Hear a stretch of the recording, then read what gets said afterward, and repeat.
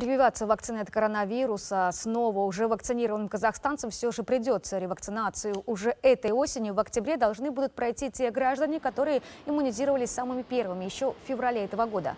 Об этом сегодня заявил главный врач страны Алексей Цой. Он уточнил, что примерные сроки ревакцинации сейчас Минздрав активно обсуждает среди медсообщества. Вскоре ведомство проконсультируется с ВОЗ. Сегодня о повторной антиковидной прививке уже говорят те страны, которые вакцинировались в прошлом году. США, Израиль и Россия, подчеркнул Цой.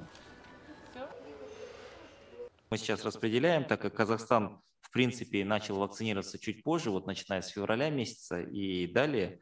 А, ключевая масса у нас вакцинировалась где-то а, июнь-июль, поэтому у нас еще а, антитела, в принципе, они э, свежие, такие, уровень высокий, поэтому, наверное, ориентировочно где-то через 9 месяцев после Э, получения второй дозы э, у нас э, в календарь войдет.